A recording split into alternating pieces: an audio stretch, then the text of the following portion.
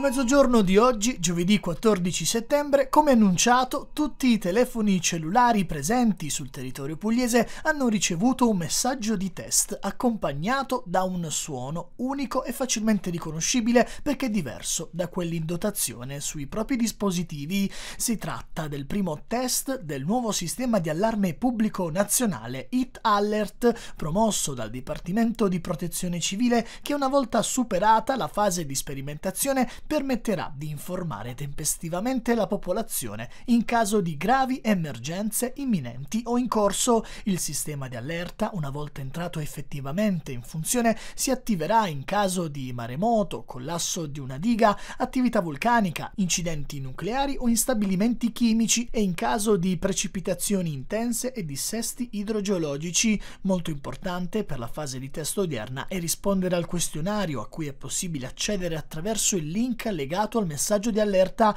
Le risposte degli utenti consentiranno al Dipartimento di Protezione Civile di migliorare lo strumento. It Alert è arrivato per alcuni puntuale a mezzogiorno, per altri con qualche minuto di ritardo. Non tutti i pugliesi erano al corrente del test e non sono mancate segnalazioni e richieste di chiarimento. Una volta ricevuto il messaggio, qualcuno inevitabilmente ha avuto non poca paura nel ricevere ed ascoltare quel messaggio d'allerta.